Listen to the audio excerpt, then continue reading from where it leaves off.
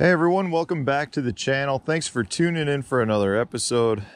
I am kind of mad at you guys.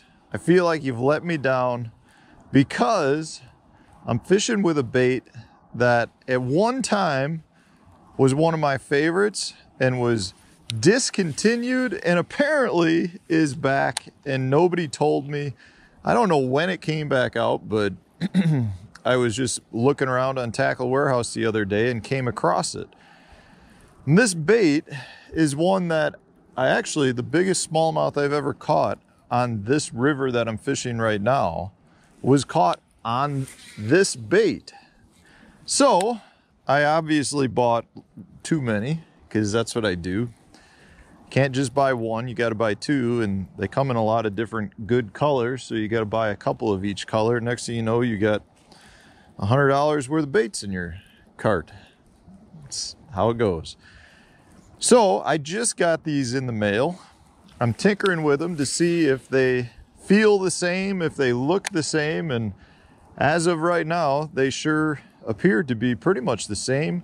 It's a little bit of a different uh, skirt on it, maybe a little bit of a different head design. I actually don't have any more of these. I had a stockpile for a while, but they've been discontinued for quite some time. And because they've been discontinued, I've gone through my stockpile and probably have not had one for three years. So I'm not positive if the head design is different. I think it's a hair different, like maybe they use just a slightly different mold.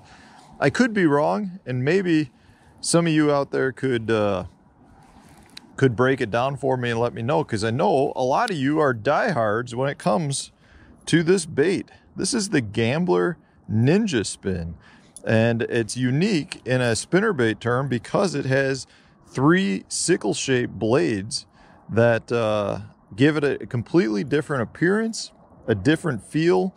The blades, because they're smaller and sickle-shaped, the bait the bait feels like it's got more thump to me than other spinner baits but less pull because the blades are so much smaller. You you you get the same vibration, but you don't get the same rising bait because the blades are so much smaller. It's like throwing a inline spinner where the, the bait can run deeper and it just doesn't want to rise as much as a normal traditional spinner bait that has blades that are that much bigger that just lift that bait up to the surface.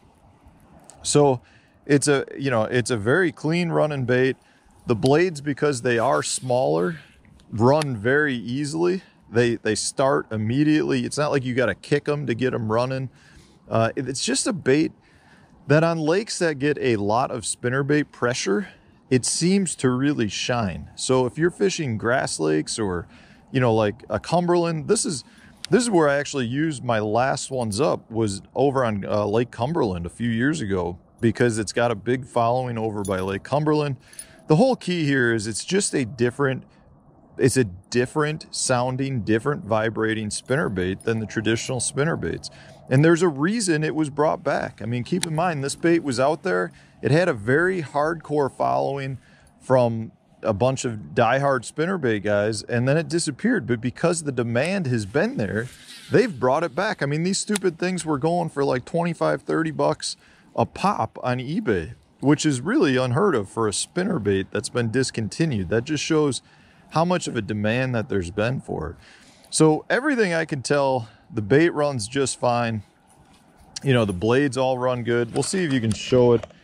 You know, I'm we've got 48 degree water temps right now.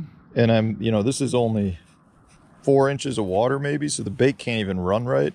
It's rolling on its side, but hopefully you can just see how those smaller blades create more of that chopping.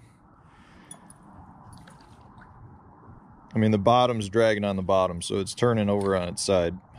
But you can see how those blades just produce additional flash, a smaller flash. It's, it almost gives that appearance of smaller bait fish, which can be a good thing in the fall.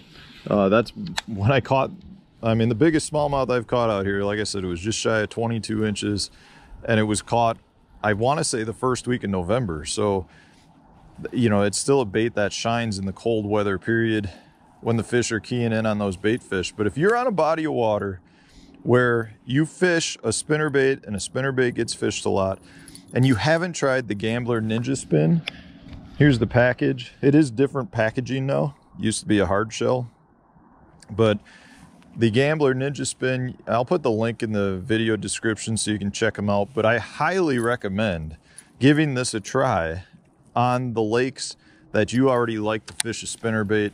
And if they're heavily pressured with a spinnerbait, I'm sure you can separate yourself from a lot of those other people because this bait really is an entirely different spinnerbait. It's not really a, a traditional spinnerbait in its own right.